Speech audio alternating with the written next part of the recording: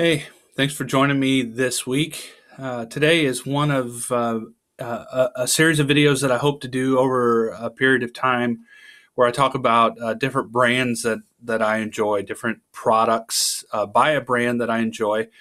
Uh, something you, you probably don't know about me um, because you know very little from this video series is that I am a very brand loyal type of person. So when I find a product or a brand that I can be loyal to, that I can continue to provide business to, uh, I, I, like to do that. Um, and so, in some cases, those are stores. Uh, I love to be uh, a faithful fan of the local uh, local businesses, and in some cases, being in a major metropolitan area, some of those are uh, in the Atlanta area. Delta Airlines, Home Depot, uh, Coca Cola. I love to be uh, a fan of the local businesses and and uh, support our local economy here. But uh, today I want to highlight three specific brands that uh, have really impressed me over the last couple years and uh, brands that I continue to use on a regular basis. Um, the first one is uh, Dollar Shave Club. So I've been uh, a member of Dollar Shave Club for probably, I would say, probably about two years. So I started out, this is the Humble Twin. So this is a two blade two blade razor. It comes with a handle, um, pretty easy to snap in, snap out of. Um, I have used this primarily over the course of the two years. I did recently switch, and I'll show you uh, that product here in a minute. But uh, with the initial box, they send you a handle and they send you five blades. The blades look like this. They come in a, a cardboard sheath, uh, and I've really liked the uh, the Humble Twin. So I, as I mentioned, I switched to um, one called the 4X or the four times, which is a real heavy duty. Um, you can see kind of uh, it's a heavy duty handle, much more sturdy, much more durable. Uh, the blades are um, four blades. Uh, and uh, I switched this probably over the last two to three months or so.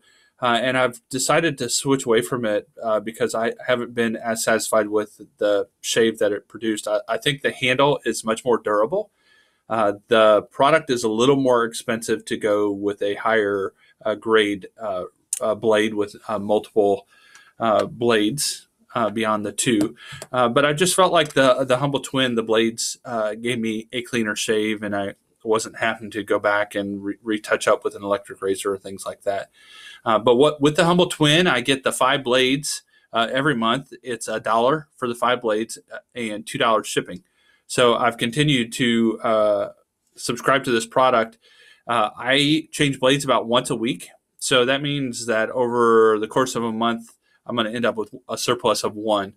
So what happens is that uh, using the Humble Twin, I usually uh, will run to a period of time where I can discontinue the membership or the subscription and uh, use my excess for a period of time before I have to uh, start the program up again. So I've been a, a, real big fan of this. I'm a big advocate. Uh, signed on was uh, originally uh, my interest was piqued with their viral commercial, which you can look up on YouTube. I might provide a, a description uh, a link in the description where you can see the original. Uh, a little bit tongue in cheek, a little bit irreverent, but uh, it piqued my interest. And uh, I've been a member for several years and been very happy with the product, which I use today, and uh, it's uh, thrown off a wicked glare. the next one is I have a thing for shoes. And so when I started running, this gave me an opportunity to have even more of a thing for shoes. so I, over the course of the last I would say probably last three years, I made a transition to a different kind of uh, foot strike in running. As you know, traditionally, or you may not know, traditionally in running, what happens is you run with a heel strike. So your heel comes down and hits, and then your foot kind of does this.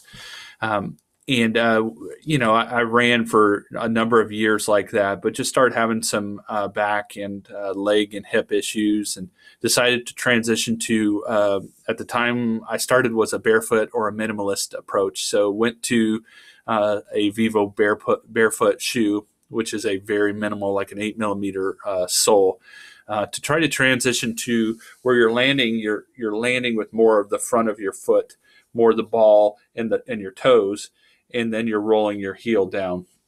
So you kind of do like that when you run. Uh, so transitioning to that, so I did that with a, a, more of a barefoot type of shoe to start out with, and then transitioned uh, to a product that had more cushioning because I found that although I, I liked the forefoot strike, uh, I really needed more cushioning. Um, my knees and my back couldn't handle it without uh, the cushioning. So I discovered a brand called Altra, uh, and I will show you several pairs. I've got four pairs. Uh, most of these are still in rotation. Uh, these are my favorites uh, by far. These are the Altra 1 2, uh, 1 2.5, excuse me. I did have a pair of the Altra 1 2s, which was the brand before this. Uh, the, the thing I like about this is this one is super flexible um, and uh, very light, very cushy, uh, a very fast ride. So when I started running, I would hear this concept of people talking about a fast a fast shoe, and I thought that was ridiculous. That's the most ridiculous thing I've ever heard. Being fast is dependent on the person; it's not on the shoe. But uh, in all honesty, I have run my uh, fastest uh, single mile time in these shoes, which was just under an eight minute mile uh, outdoors.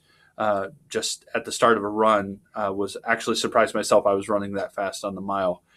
Um, but I, I really love these. Now, I, I do have uh, some issues with them. They're very breathable, uh, very flexible. You can see they just they curl up. Um, my issue with these is that these are not designed to be a three to five hundred mile shoe, so that they do have durability issues. You can see um, already excessive wear. Um, this all this white is, I believe, this is uh, the A-Bound material. I'm not 100 percent but this stuff is really soft and wears uh, excessively uh, and quickly. And you can see right here, because this is about right where I strike, is right in this area. There's a lot of wear right here. So these shoes don't last a long time when they're uh, being used in regular running. Uh, what has happened though is these shoes are so comfy that I have uh, gone to using these as my almost everyday tennis shoe. Uh, Altra has recently released something called the Takala Takala uh, it is an everyday shoe. It's made on this uh, shoe, this sole that I'll be getting soon. uh, that has, uh, and it's a casual shoe. It's not made for running, but it has. It's made that it can be a slip-on uh, or uh, a slide, so the heel drops like that. But I, I love these shoes. I would r- highly recommend these as the regular running shoe for a lot of people recommend them for speed training. I don't do a lot of speed training. You know, if I run, I'm just running. Uh, but they are super comfortable. Again, not highly durable. Won't last you three to 500 miles. Uh, you're lucky, I'd say, uh, 200, 250 miles on a shoe like this. Uh, the next ones I got, and these are shoes that I will be retiring soon. Uh, this is the Paradigm, and this is a maximalist shoe. You can see it's a it's got a huge uh, sole here. But I decided to try this just because there's been a lot of talk in the market about the uh, Hoka One Ones uh, and that whole movement to maximalist, which is the opposite of the barefoot movement that got me into this in the first place. But I thought I would try this. I got these at a real great price uh, on eBay, brand new, and I thought I'd give them a try. Uh, one thing I, I did didn't at first realize is that these are super cushy, but you don't realize it because there's a good bit of firmness, even though this is a soft uh, material, there's a bit of firmness, and you know they're not super flexible, so they don't they don't feel cushy at first. But when you when you transition between the different shoes, and I would come back to these, it became extremely noticeable how cushy these are. Um, and I've worn these. Uh, these are ready to be retired. I, I, probably won't run in these. I ran in these earlier this week, and I probably won't run in these again. Um, but these are a, a, a good shoe. Um, the recommendation for a maximalist is that this is your long run type of shoe. I, you know, again, I wear whatever shoe I feel uh, motivated on. Uh, you can see the sole again, this white material, which is like the A-Bound. You can see how it just wears like crazy, um, and you can see where I've, uh, you know, where I kind of I strike on the front part of the shoe. Uh, you can see where the wear is, and when I get uh, lazy on my run and I start dragging my foot, this is where I start dragging it. So you can see kind of the wear there uh, on this side of the foot. Um, but uh, again, a great shoe, a comfy shoe. Now, this shoe uh, runs about true to size, so you want to do uh, your traditional one size up. Uh, the one, two, five that I just showed you uh, runs real small, so I would almost go. Uh, I wear an 11. These are 12s. my current 2.5s are 12 and a halfs, I believe. And I would recommend, let's see, let me confirm that. No, these are 12s. And I would almost recommend that you go up, uh, I would almost go two sizes up. So I think I could probably go in uh, 13 in the 2.5s to, to do those. So this next one is a shoe that's, uh, this is an old model. So this is just, uh, there are like three models that have come out since this. This is the Altra, Altra Superior 1.5. This is a trail shoe, uh, an aggressive uh, sole. Uh, it's a little more of a, a, firm ride than I, than I prefer. Um, the, it does have a rock plate insert uh, under the insole here in the shoe. Uh, but it is specifically designed for, d- designed for trail running. So I've tried to transition a little more to trail running uh, because I just enjoy it more. There's more scenery, more to see. Um, I've had to uh, dodge wildlife, avoid snakes. Uh, it's just a lot more fun, a lot a lot prettier of a run, a lot more enjoyable. Get to enjoy nature. Um, but they have two or three versions. I think they just released the, the 3.5, so they release them in increments. So go 1.5, 2, 2.5, 3, 3.5. So I think they just released the 3.5 on these. Um, so these are an old one. I do want to upgrade these to the newer one, but they have a lot of life in them. I haven't run uh, near enough in these trail shoes, um, but the uh, the grip is not as aggressive as I would hope. Um, the newer ones do have a little more of aggressive uh, grip. Uh, they do have a tail rudder, which I cut off on these, and a gaiter trap. Uh, this is uh, a gaiter is a piece of fabric you put over the shoe and around your ankle. It kind of goes up and it prevents rocks from getting in.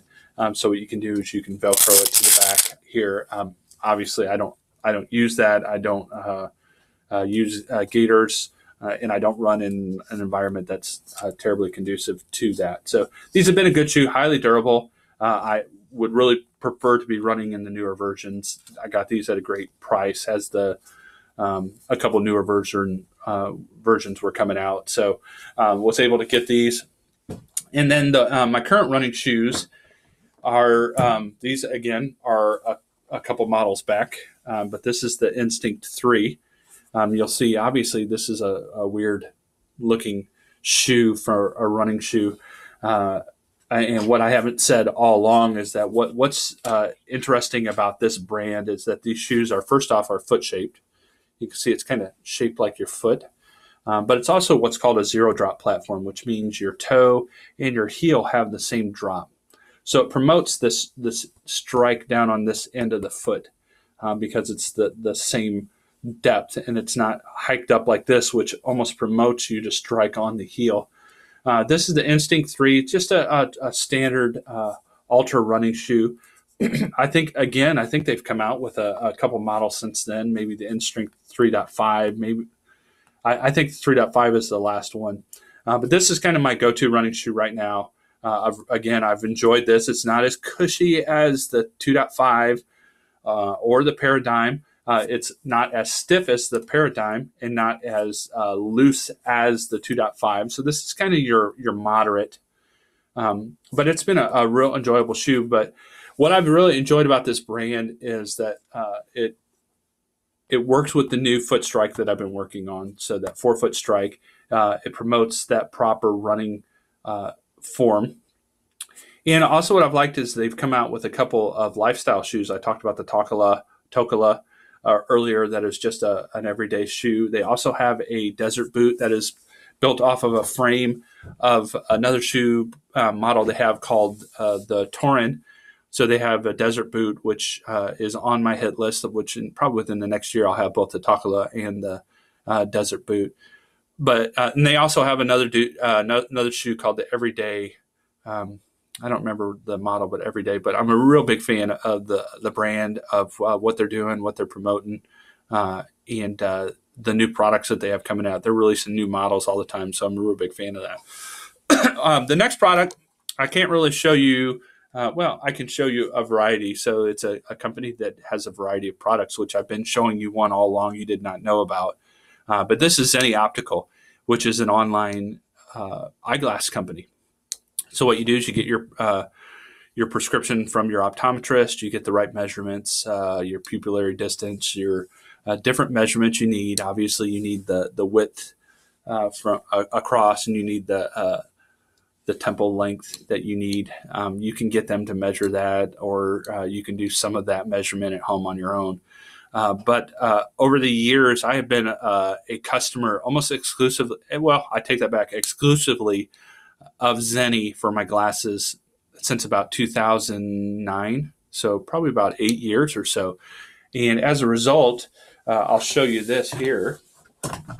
Uh, as a result, in addition to the glasses I'm wearing, uh, I have uh, a quite a collection of glasses uh, from Zenni, and you'll notice that even in the videos, if you paid attention, I've been wearing different glasses each time because I'm able to swap them out.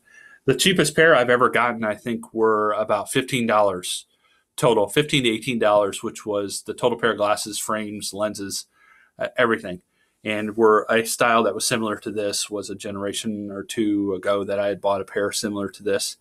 So uh, very affordable, very inexpensive. Uh, I normally buy uh, anywhere from two to well, I take that back. I've anywhere from three to four pair at a time. I do have two pair of sunglasses that are shown here, and and I also have a pair that I bought from uh, Goggles for You, which is another company, uh, which I've just tried out recently because they had a good sale. Uh, but here are my very first pair I bought. And I'll tell you the story here. So, uh, obviously, anyone that has glasses, wears glasses, knows that um, you, you can be real picky about them. And going to the optometrist, you know that uh, it's pretty expensive to get a new pair of glasses. And you know that you, you, you generally, you're going to look for whatever uh, you believe looks best on your face or is the highest quality. Uh, and I was no different. I frequently would always, frequently, I would always pick out an expensive style like a polo or something like that that would would cost a good bit of money. So I bought a pair of glasses uh, right before those uh, pair that were similar to this were uh, a rimless. They were a pair of polos, uh, super nice pair of glasses. Uh, loved them, and I had just was coming up on the end of my warranty on them, and I replaced the lenses, and I think that was free. And shortly after replacing the lenses, the they cracked right down the middle here. So I went to my optometrist and I said, uh, "Hey, I just got these brand new lenses. Uh, I want you to see if you can just swap them out with." Uh, uh, a new set of frames, which you can see with those. It's only like three pieces of metal. It's like the nose and then the the the, um, the arms, uh, the temples. so I said, you know, that, that shouldn't be that expensive. I got these new lenses. How much would that cost? And they said $350. And I said, $350? You got to be kidding me. So I decided uh, Clark Howard, I believe uh, an Atlanta personality on the radio and a, a kind of a financial guy, had been talking about this, and I had caught uh, caught wind of it on one of his shows, or, or some some way had heard about this. So I decided to check it out. I ordered that first pair uh, in 2008, 2009, somewhere around there, and uh, have loved it, and have ordered a plethora of glasses ever since. From there, uh, in some cases, I'll order a pair specifically for an event. May order a pair to uh, match a color of a specific outfit or series of outfits I may have uh, may order a certain style. I do have a pair of that are for sports, uh, running like running goggles that I have. Again, I have two pair of sunglasses. Um, I have one pair that is our transition lenses that in the sunlight they'll uh, go dark. Uh, have uh, a, a, couple pair that are bifocal um, with a, a, line showing for reading that I keep in various places around the house. Have a new pair that's on order, scheduled to come next week. So I'm a huge fan. Um, huge fan. Well, actually, here's one of the pairs of bifocals. Uh, and uh, have been real happy with the quality. Um, there have been a couple um, uh, misfires that I've had. I think those are probably uh, my fault where I ordered a pair of glasses that did not have the right dimensions to what I needed.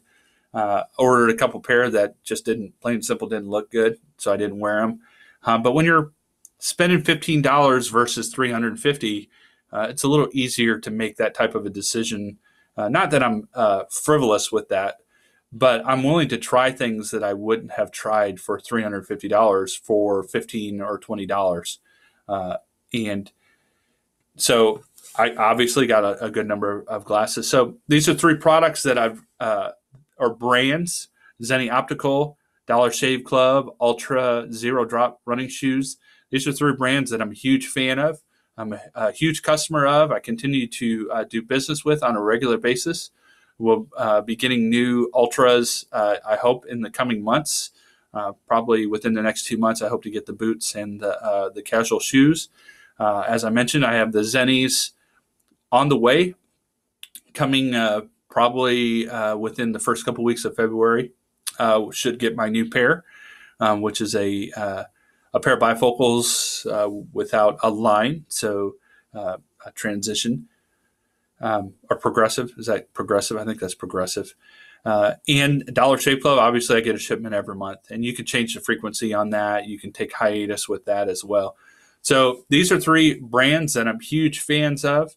Uh, this is they are not a sponsor. They're not paying for uh, this in any way, shape, or form. But I enjoy the products and wanted to let you know about it and see if there are any specific brands, excuse me, or products that you have been using, that you use, that you continue to use, that uh, you would be interested in promoting or letting us know that, hey, this is a product that deserves your attention.